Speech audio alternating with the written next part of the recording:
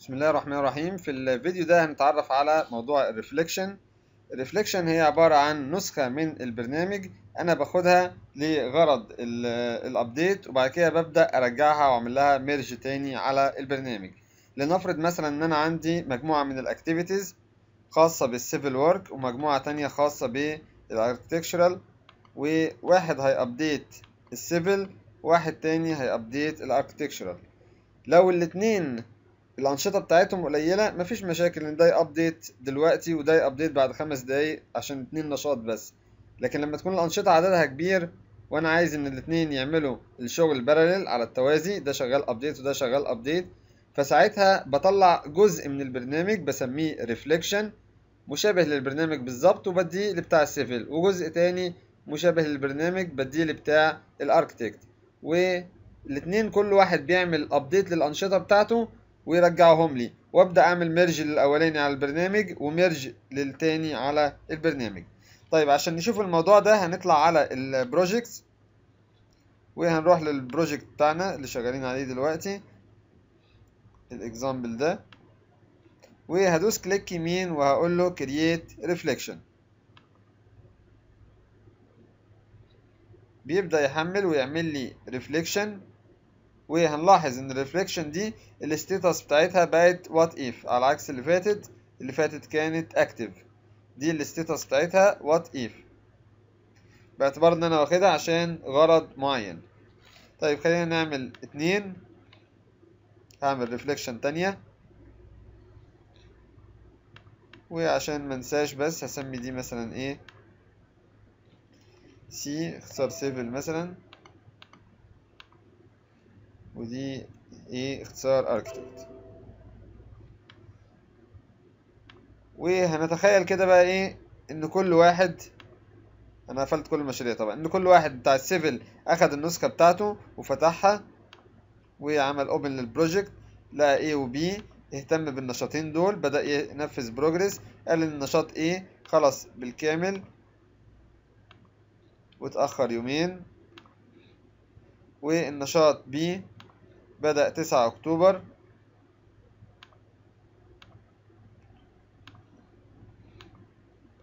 والريمينينج فيه حوالي ست أيام. والنهاردة حداشر أكتوبر فهعمل F تسعة على حداشر أكتوبر.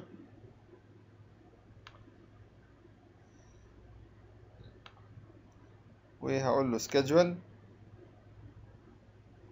بدأ إن هو ي update النشاط أو ي update للبرنامج فطلع هنا نسبة الإنجاز مية وهنا خمسة وعشرين في المية والاتنين دول زيرو. وقام جاي قافل البرنامج.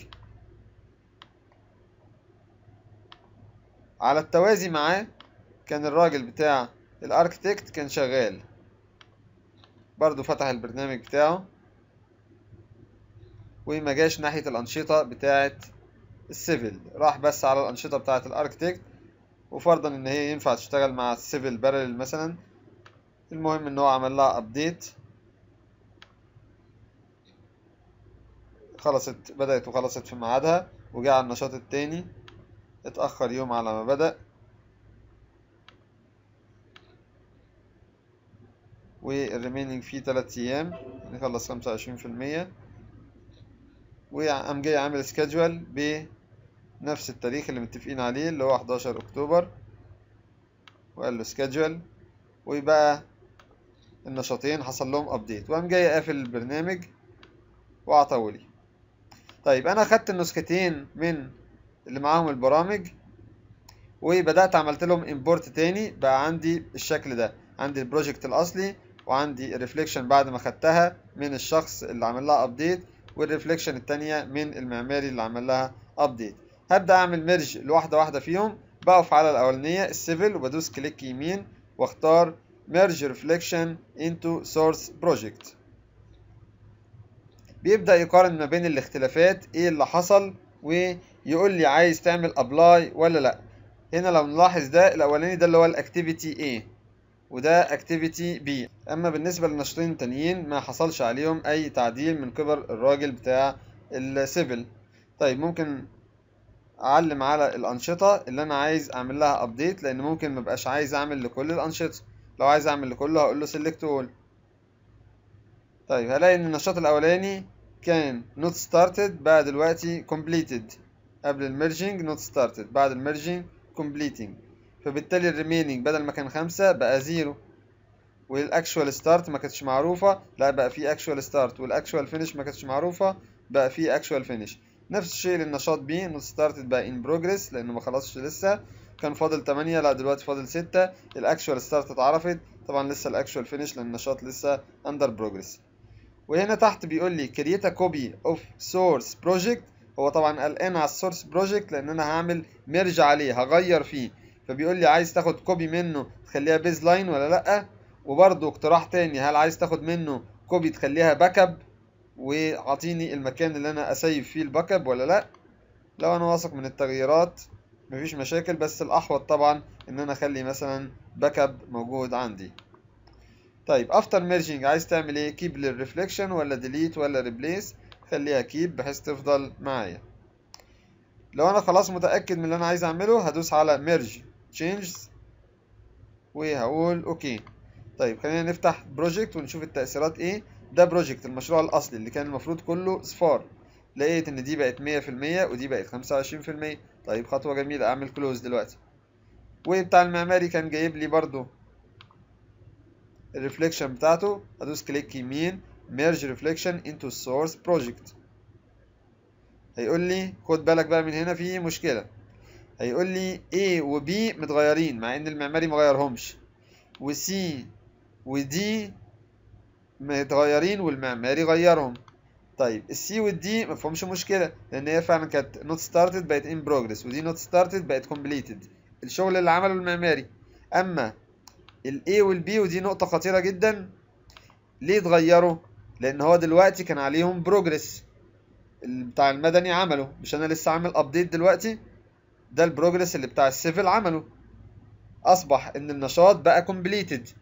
مع إن هو الراجل لما كان واخد reflection قديمة كان مكتوب فيها إن النشاط A و B not started أساسا. أصبح بعد ما عملت ال update دلوقتي أصبح إن هما completed. أنا دلوقتي في عملية ال update التانية بقى بتاعت المعماري. اكتشف إن في update معمول قديم. بيقول لي أرجعه لك زي ما كان أرجعه لك صفار تاني. يبقى كأني لغيت الشغل بتاع ال civil اللي الراجل بتاع ال civil عمله كأني هلغي الشغل بتاعه وأرجعهم أصفار تاني. يعني بيقول لي before merging كانت completed. أرجعها لك not started أرجعها لك ما بدأتش. وبرضه before merge موجودة in progress. للنشاط B هل أرجعها لك not started تاني؟ فطبعا هاجي عند النشاطين دول وهشيل علامة ال merge من هنا ومن هنا وأقول له لا مالكش دعوة بدول. دول معمول لهم أصل update من قبل كده. انت بس اهتم بالنشاطين دول. فبالتالي ما ينفعش ساعتها بقى إن أنا أختار select all لا أنا هعلم على الأنشطة اللي أنا عايزها. وهبدأ أضغط على merge changes وهقول له okay. كده خلاص ال project المفروض إن هو متحدث. هفتح ال project ألاقي إن الجزء بتاع ال civil بقى متحدث 125 والجزء بتاع ال architect بقى 125 وده فيه تأخير ده مفهوش تأخير.